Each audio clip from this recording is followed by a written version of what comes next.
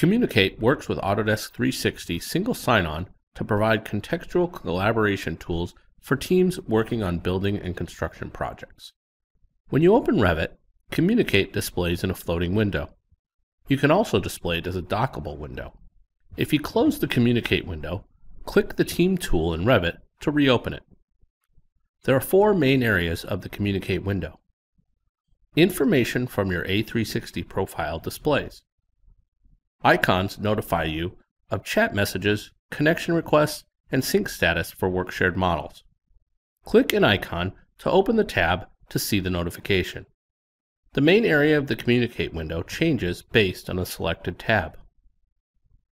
Tabs provide access to each of the main panels. The Add tab allows you to add a category for grouping your contacts or to add a contact. The Project tab shows members and model activity for the current project.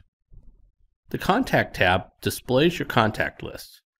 Contacts can be people you work with on A360 projects or other people you wish to collaborate with. Open the Chat tab to continue an online conversation with a contact. The Notification tab is where you review and respond to people's connection requests. Use the timeline to review Synchronize with Central activity for work shared models.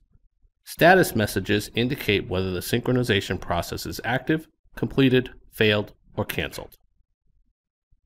When working in a Revit model in an A360 project, you will primarily use tools on the Project tab.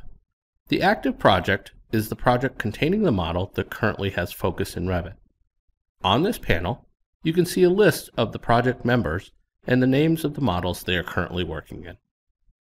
Send an instant message to all of the members of the active project or invite a contact to join the project. It is important to understand that if you invite a contact to join the project, you are giving permission for this person to access and edit all data and models in the project.